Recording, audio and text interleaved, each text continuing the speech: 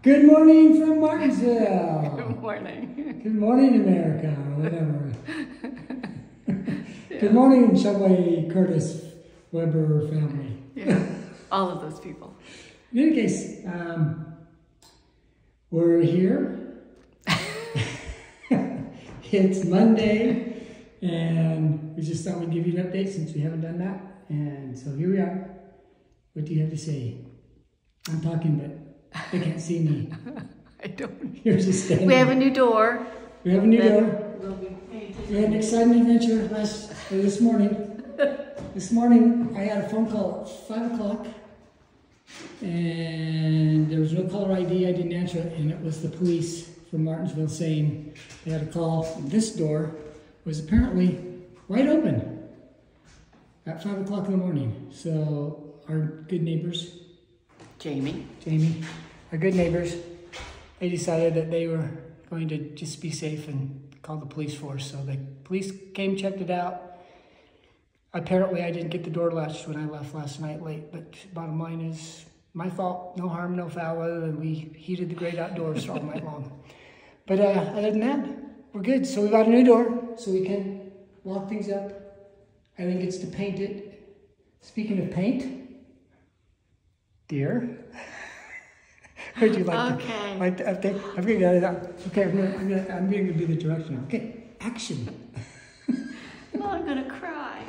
I so we've been priming everything and priming all You of see, the priming. She's been priming. It looks priming, beautiful. priming, and so it's it's smelling pretty good in here now. That smoke, funky stink is is finally dissipating, and but it's been arduous task, and um, because of my arthritis. So anyway, the there was some the the gentleman who came in and helped with wallpapering or exterior painter. eh, Very is nice. coming to her rescue again.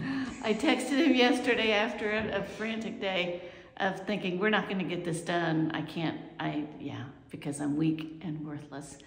So I texted him and he said sure he'll come and and do it and it's more money than I want to spend, but uh, we're still under budget. We've been under budget and we're still going to be under budget. But so he's going to come Thursday. I got to get everything primed by Thursday, but he's going to come and we bought the paint yesterday at Sherwin Williams.